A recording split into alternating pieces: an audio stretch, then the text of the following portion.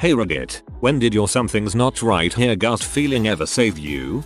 Last year, the 1st of December, I had slept for almost a week trying to fight what I thought was the flu. Woke up and that exact gut feeling kept on telling me something's not right with me. Called the parents to tell them and then cabbed myself to the emergency room. Took blood, the whole 9 yards, was there for 8 hours. Discharged and sent home called the next morning asking me to come back because they found something in my blood. Bacteremia and endocarditis. I was put on penicillin immediately. For 2 months. More tests. More things wrong. Went for a specialized test on the 21st of December. Woke up to them telling me I need surgery as soon as possible. They are trying to find a surgical team. Earliest is the 24th. I go in and while they're operating I have an ascending aortic aneurysm and it caused an aortic dissection. They're able to fix it. I've got a synthetic valve in there now. Here's the kicker. I work in a restaurant kitchen. Just before the start of the holiday season. Normally most cooks would tough it out and just work. Most think, it happens and it'll get better soon. Just keep going. There was just something about the way I was feeling this time that made me go to the hospital. I'm told that if I had done that, I more than likely would have died before my birthday and they would have found out about the aneurysm during the autopsy. That still sends freaking chills down my spine. My best friend works as an emergency room nurse at the same hospital that I was operated on and she was freaking out internally but kept it together on the outside for me. She explained just how serious this all was after I was in recovery. I've promised to tell her whenever I get that same feeling again. TL. DR. Gut told me to go to the hospital. If I hadn't I would have been dead 3 weeks later. Cheers. Edit. I've got to get to work now but I'll try to answer more replies during the day. Please keep them coming so others can learn from my mistaken fortunes. Thank you. Edit 2. Thank you kind stranger for the silver. I still don't know what to do with it but I wish one back to you. Edit 3. WFT. 6k upvotes on a post that I made about my heart. Thank you all for all the concern and wishes. Seeing the conversation this has produced has helped a lot with just my general well-being and mental health. Truly moved by this. I was walking out of a grocery store when I saw this kid about to cross the road. Something came over me and I yanked him back onto the sidewalk. Not even a second later a truck came flying past. He was probably around 7 or 8ish.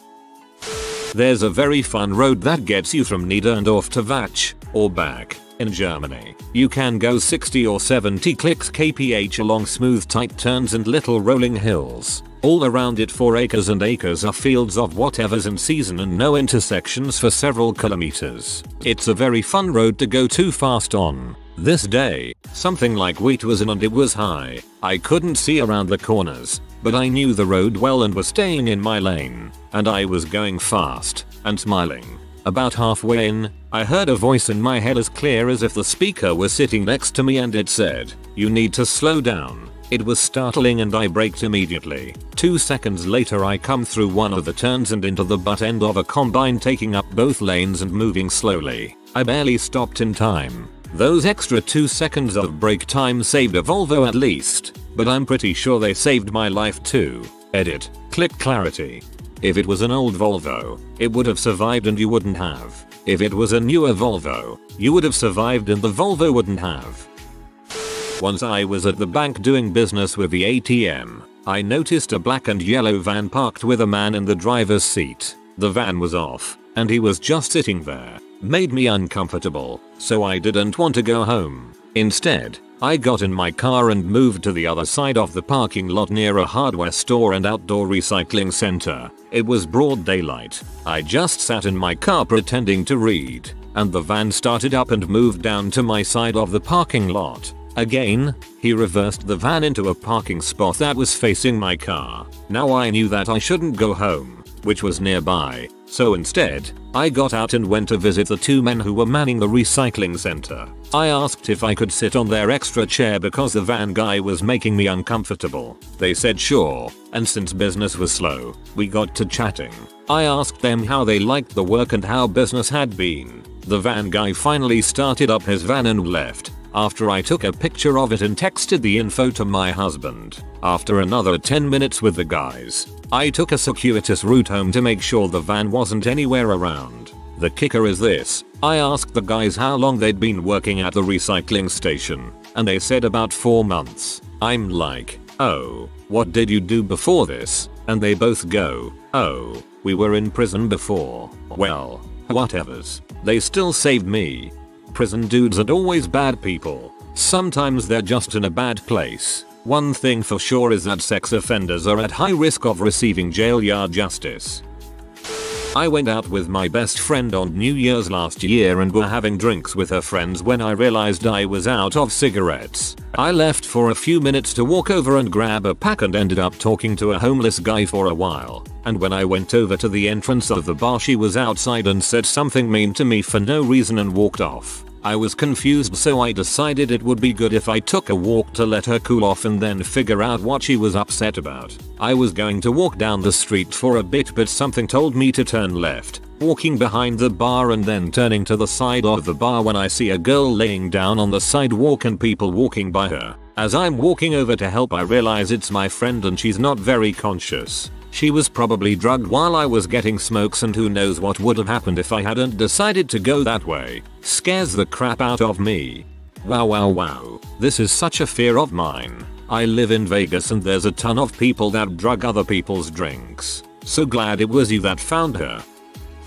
I was with a coworker. He had lied to me about going to a family party of his. But when I showed up, it was just him and I and we went to a bar. I rolled my eyes and just thought I could clench my teeth through it. He knew the owner of the bar and got me alcoholic drinks. I was only 20. I started pouring out the drinks when the dude was shooting pool because I didn't want to be tipsy drunk while dealing with him. That decision honestly saved me. I told him I wanted to go home, but he talked me into taking him home first. So I followed the directions he gave me and I pulled into a hooker bar parking lot instead. He started getting really aggressive and trying to kiss me. I kept pushing him off. I was still trying to be polite but firm and telling him to stop. That's when I noticed the group of guys around my car, talking to my co-worker in my car in another language. He then opened my car door, got out, and proceeded to grab me by the hair to try to pull me out of my car. The other guys gathering around. I had a mind to lock my door when I noticed the other guys. I also had put my car in reverse. So when he grabbed my hair I let off the brake and my car started rolling back so he let go of me. It was terrifying. I told our boss the next day and he quit when our boss asked him about it. I even drove away with my passenger door wide open.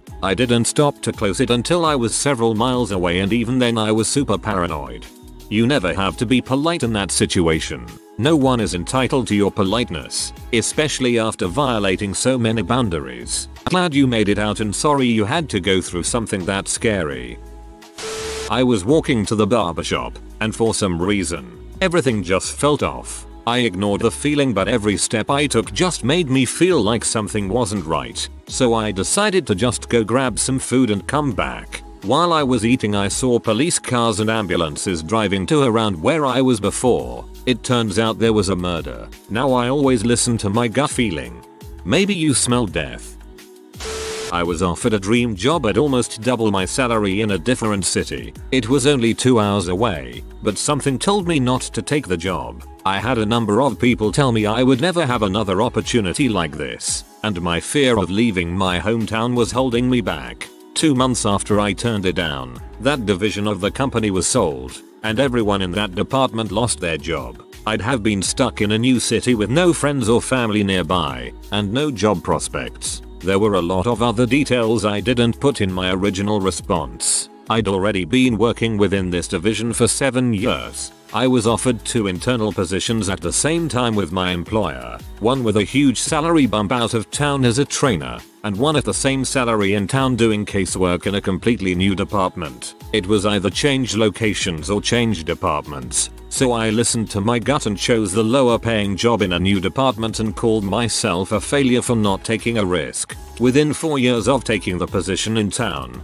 I was managing the trainers in my new department. In the 11 years I've been in my new department, I've almost tripled my salary. If I'd lost that job in 2008 I'd have lost all the benefits that come with 7 years of employment vacation time, stock options, performance reviews, 401k hassles, contacts, etc. I never could have foreseen this turn of events 11 years ago, and lot of it was the dumb luck of being in the right place at the right time, and following my gut. You were obviously supposed to save the division. It didn't save me but I saved someone else. When I was 6 my brother, 8 at the time, and I would go to my grandma's house while our mom worked late some nights. Anyway one day I was just randomly thinking about fire alarms. I don't know what caused me to think about it but after I started I couldn't stop. I have ADHD this super focus thing so whenever I'm thinking about something as simple as fire alarms it consumes my mind. I asked my grandma and she said she hadn't tested hers in a while. Just for kicks she did and sure enough the batters were dead. She replaced the batters and made sure they worked. The very next morning her house caught on fire while she was asleep. If she didn't hear the fire alarm she would have been trapped in her room on the second story without a phone or any way to contact help. She most likely would have died. I always make sure fire detectors alarms work in my house now. Plot twist. The new battery is shorted and caused the fire. Glad she made it out of course. So, it technically didn't save me, it would have. Anyway, a couple months after my 10th birthday we went on family vacation to visit my dad's side of the family. They lived a state away. My mom was about 6 months pregnant with my only baby brother at the time. We got to our hotel at about 2 o'clock and by 3 o'clock we decided we wanted to make the most of the day and go to the aquarium. I got fully dressed and ready to go and suddenly I was hit with this crippling feeling of dread. At that age I'd never experienced anything like it. Pure anxiety. But I knew, I just freaking knew if we waited 5 minutes I would be fine. I tried telling my mom this and she was having none of it. I even tried to just stall her by begging. Nope. Got dragged, not literally lol, out of the hotel and into the car. We pull out of the parking lot and get T-boned so hard we do a 180 into oncoming traffic. As soon as we all realize we were okay I was like, ah, yep, there it is. I've never let either of them forget it either lol. If this were my fam they would turn it around on me and say see, the begging you did delayed us so we were right there at the moment we got T-boned. Glad all was okay for you. About 10 years ago, working security at a site about 50 miles from home, got off shift at midnight, and didn't bother to change out of uniform because I was only going to stop for gas. Two stations in the town I was working in were open after midnight, but it slipped my mind as I drove past the first one, pulled into the other, same brand, same gas price, same sort of dump entirely, and just didn't like something about it. Nobody else around but he Clark that I could see, but I decided to go back to the other one. Topped off and headed back out of town. I get close to that station again. Three city cop cars, two deputies and a state trooper are outside blocking the road with guns drawn. Turns out a city cop walked in on a robbery. Dude put a bullet in his vest, and the store owner knocked the robber out cold with a bat before the cop could recover enough to get his gun out. That would have been me, in a uniform with a nice shiny badge, but no body armor. Whoa, in all earnestness you actually dodged a bullet on that one.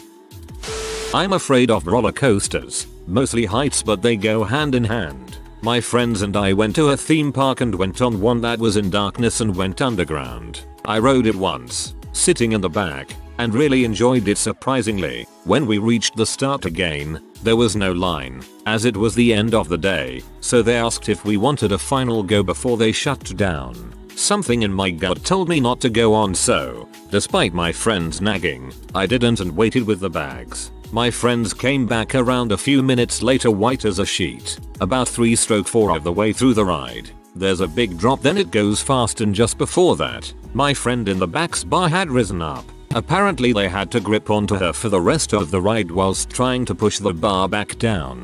Oh god that's my worst nightmare.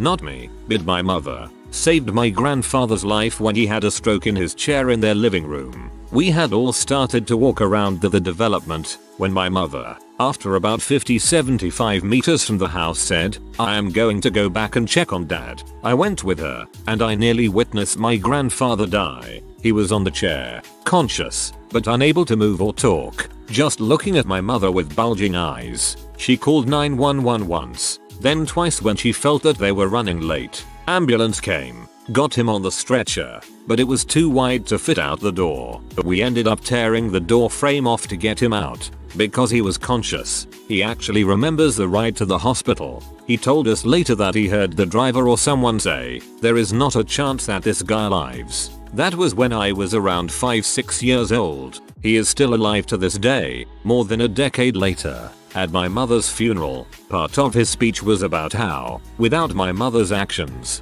he would not have been able to spend time with her during her final years of life. And for that, he is eternally grateful. I am terribly sorry to hear that your grandfather and yourself had to bury your mother, but you all had a few more years together at least. My aunt told me a story about my dad, who greatly dislikes his sister and is an all-around butthole 98% of the time calling her out of the blue one night while she was in college. She answered. He said he didn't know why but he had this urge to call her to make sure she was okay. She told him she was fine and thanked him for calling to check on her. She never told anyone else except me, and hopefully a therapist or two, but she was holding the bottle of pills she was planning to commit suicide with right when he called her. 20 some years later and she's very happy with her decision to live. Please check out ways you can help or donate in your community. There is always the National Suicide Hotline at 1-800-273-8255. Also good to know, community services boards often have a mental health department with paid employees working their crisis hotline mental health services line during business hours, and volunteers outside of that, who can work with you to get the help you need.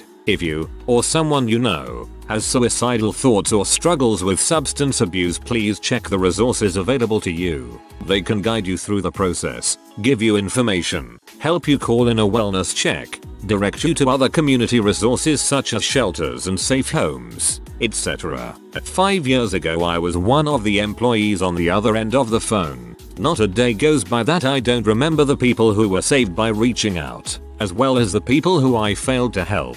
If you're struggling and think you'll be a burden to those lifeline workers, please know you'll live in their memories as a success story forever. We draw strength from your strength. Reach out. Get help. This some Jedi stuff.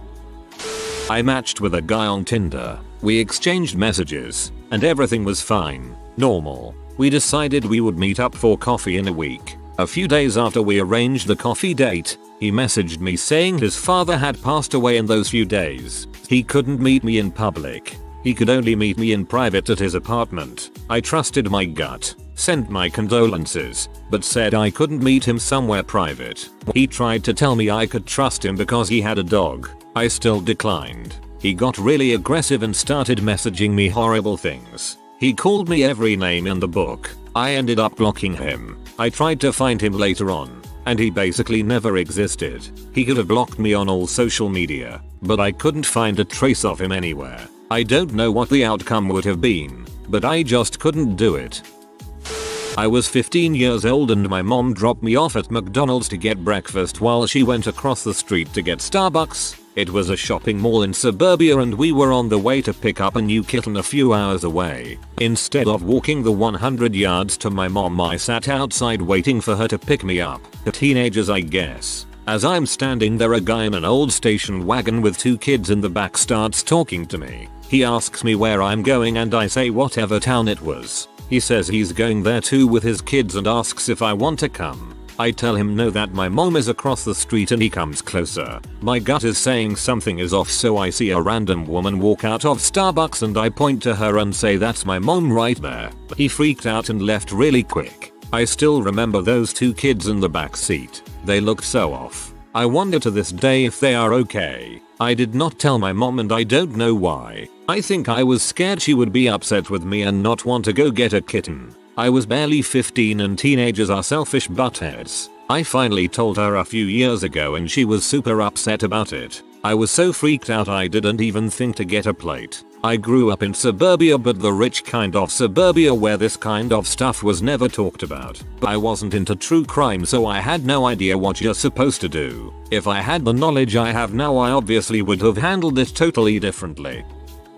In 2004, on Boxing Day, not me but my mother, family trip including all cousins and extended family on my dad's side to visit the coastal south of Sri Lanka on vacation. About 20 people in all. Well planned trip. Last moment my mother didn't want to go. No reason at all. None of us could get her to explain why but she refused to go. So we went inland on a different trip to see some other relatives. Around midday, the entire extended family now on both sides were sitting shocked in front of the television watching the very same hotel we booked being washed away live by that tsunami. To date, she still can't explain what she felt. Thanks for the gold and silver guys.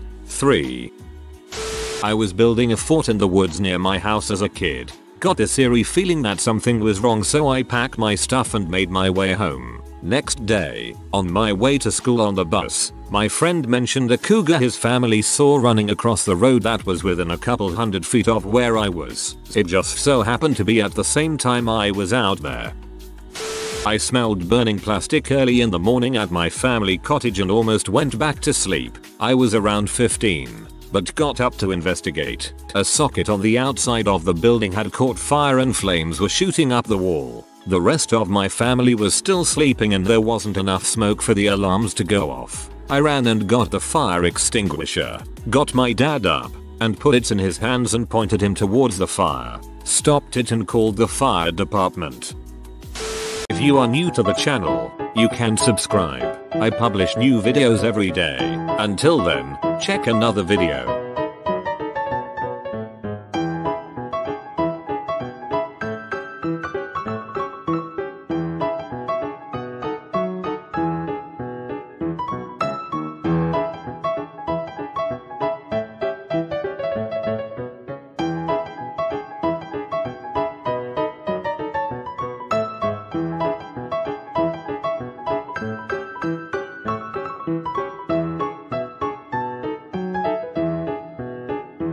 For now.